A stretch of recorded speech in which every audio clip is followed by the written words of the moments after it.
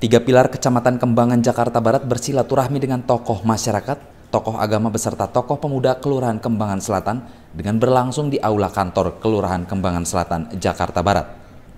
Acara tersebut juga dihadiri oleh Camat Kembangan Dr. Agus Ramdhani, Kapolsek Kembangan Kompol Supriyadi, dan Ramil 07 diwakili Babinsa Pelda Edi Surya Jaman, Wakapolsek AKP Herjon Silaban beserta para kanit dan Kapol Subsektor Puri Indah, tiga pilar Kelurahan Kembangan yaitu Lurah Matrullah, Binmas Aibtu Muhdir, Babinsa Serda Idam dan Serda Sumardi, para ketua RW, RT, LMK, FKDM, TP PKK, Karang Taruna dan anggota Citra Bayangkara jajaran Kelurahan Kembangan Selatan.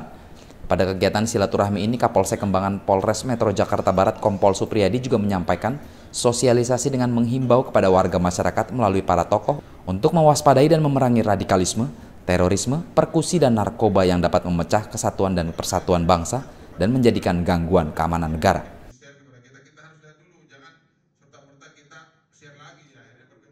Dari Jakarta, tim liputan Tribrata TV, salam Tribrata.